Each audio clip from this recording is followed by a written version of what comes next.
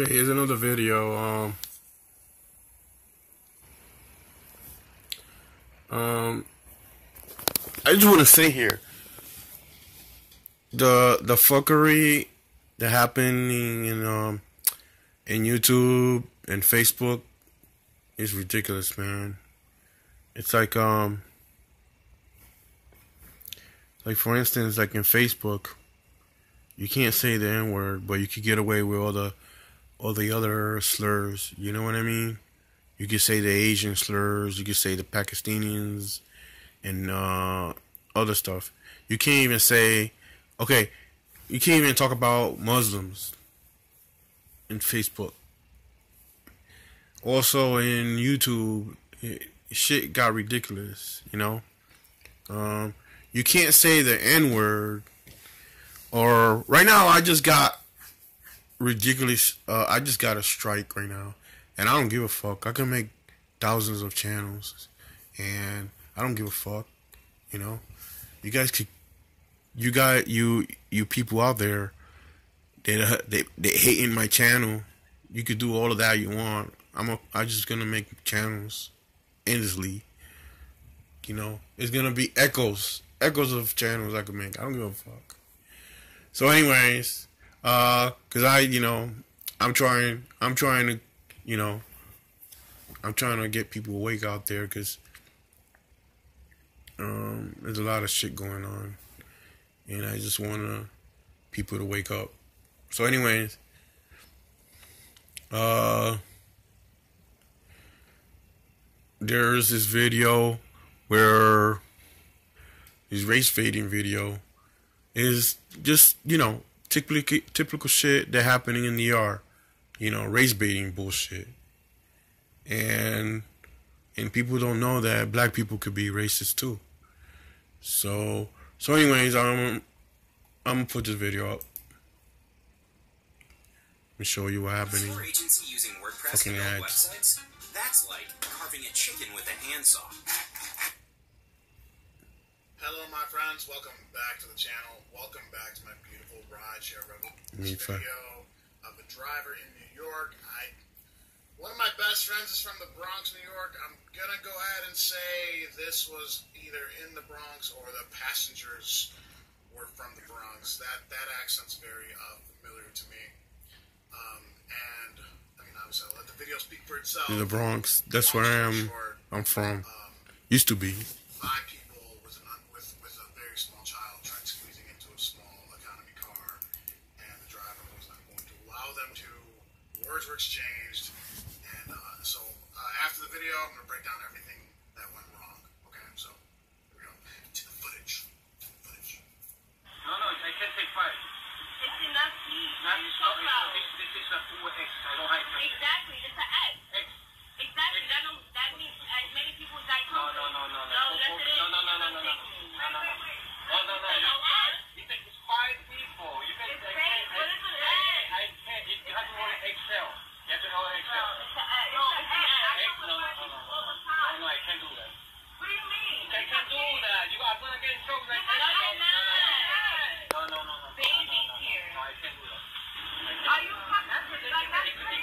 don't have extra seat. I can't I can't do that.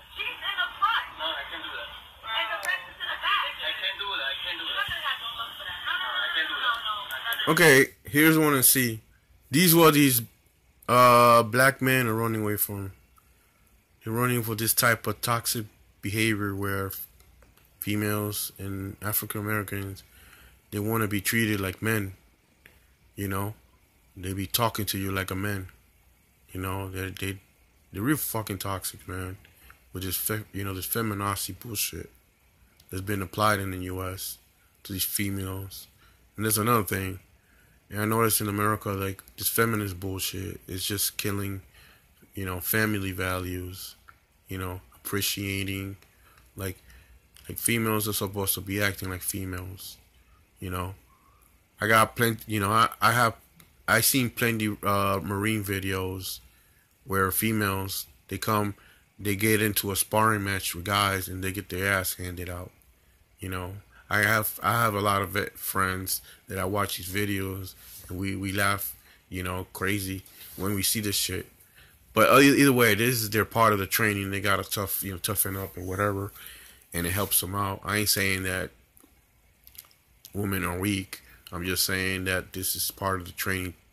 You know, they're supposed to be trained, and in reality, though, you know, men are stronger than women. So I don't know. This bullshit being applied in the U.S. So is you know, it gives this kind of be- toxic behavior, and that's why all these these these these you know these guys. I don't want to say the S word because I already uh I already got reported by these assholes because you know they they they they are the ones they're oppressing us. You know what I mean?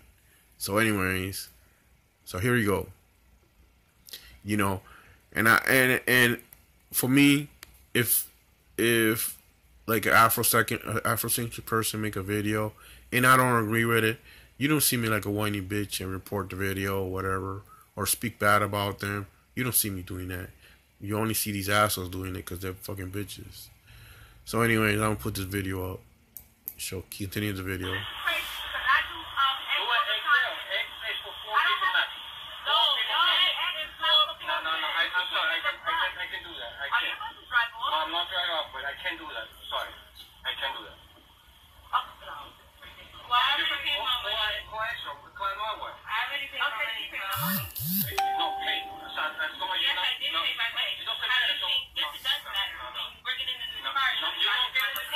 And you know you know my family we have we have you know it pisses me off because this guy's asian and i'm very tight with the asian community. I'm very tight with the what you call the the italians. You know i'm very tight with you know with people. And you know i agree there's bad people and good people but in the us people got this this mentality this uh, brainwash bullshit that been going in the U.S. and anybody just been following and shit, and I don't agree with it because every we ju- we are just becoming a consumer. We're just becoming a brainless consumer.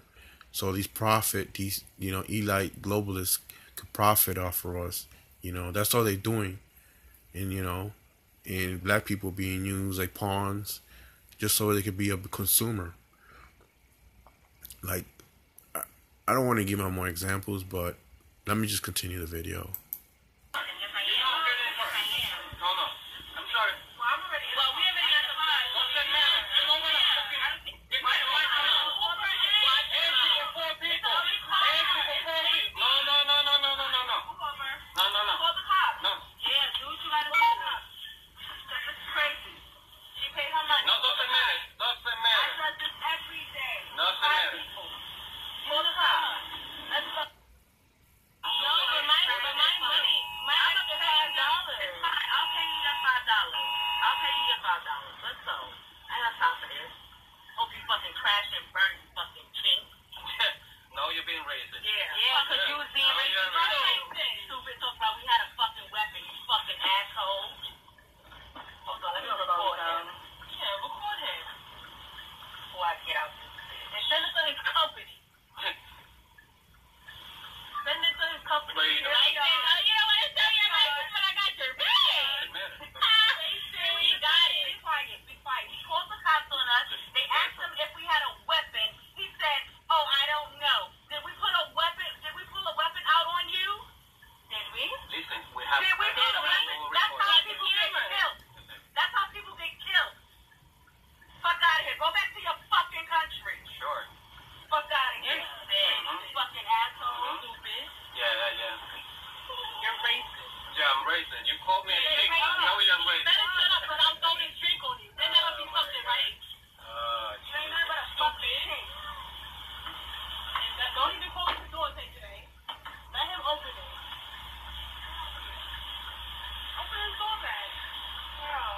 Yeah, you can open it. Like, close your own door. go, go, go. Wow. Okay, go. Just slap that baby hat on.